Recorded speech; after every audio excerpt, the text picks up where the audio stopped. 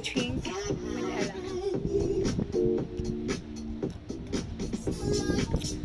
Happy summer in Budro. Hello guys, good morning. My upper merhaba. Welcome to my channel, Chanty Today guys, we will have a challenge. 15 minutes challenge day in the uh, middle of the sea. Stay ilang feet yan, hindi ko po alam, pero malalim siya. So, we will have a challenge today. At least, uh, gag gawin ko sanang 20 minutes, but 15 minutes lang guys. So, gawin ko siyang 15 minutes challenge. Uh, Mag-ano lang ako dyan, uh, lulutang, lalangoy for 15 minutes. Okay? It's a challenge guys. Let's go.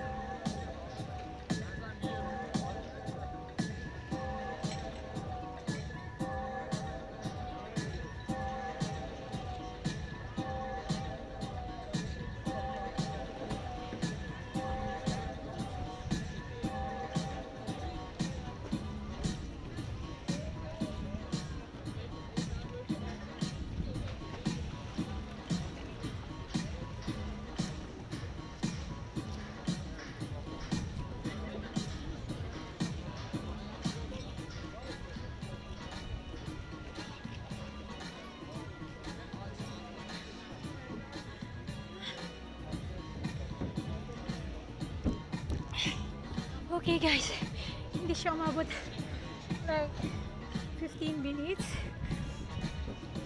Just 3 minutes lang siguro. So, yun lang kasi masyado siyang malalim. Tsaka baba, baka papagod ako. Diba? So, thank you. It's a challenge.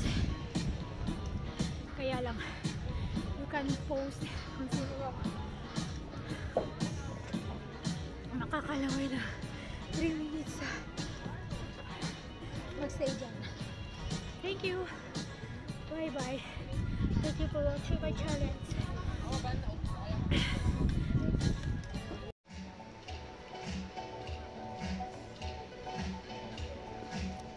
Hello guys, good afternoon. We are here in the floating cottage. I will do a challenge to stay in the water.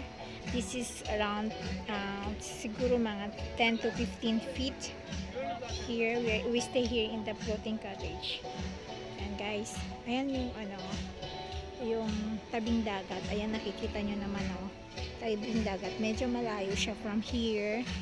So siguro takot nga ay naka, uh, nakalangoy nga ka pala kani kanina papunta dyan sa tabing ano, from here so kaya naman siyang languyin guys kaya lang hindi ako mag maano magstay ng matagal kasi natatakot ako kaya hindi ko nabuo yung ano guys yung 15 minutes challenge kasi uh, sumakit yung pa ako nung nagstay ako ng matagal sa tubig so yon So, maganda sana siya. Kaya lang medyo hindi ako sanay mag ano, magstay ng matagal sa ano guys, sa tubig.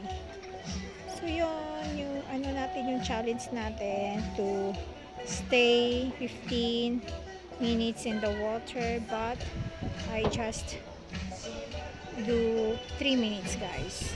So, yan, kita ko. Thank you, thank you. Thank you sa pag-watch ng challenge. I hope I can do oh, 15 minutes, 10 to 15 minutes more next time. Okay, thank you for watching guys. Yan guys, yan po yung ano, yung dulo.